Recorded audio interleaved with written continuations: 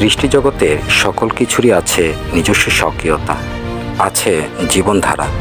হোক সেটা বিশ্বব্রহ্মাণ্ড অথবা একটি ক্ষুদ্র ধূলিকণা। হতে পারে সেটা কাকপক্ষী, গাছপালা, তরুলতা অথবা মানুষ। আর এই প্রত্যেকের প্রত্যেকটি মুহূর্তই এক একটি গল্প। এই গল্পগুলো ঘটে এবং হারিয়ে যায় কালের গভীরে, যা আর কেউ দেখতে পারে না।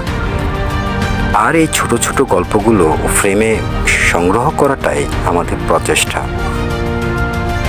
চলুন এই জীবনযাত্রার গল্পগুলো একসাথে উপভোগ করি।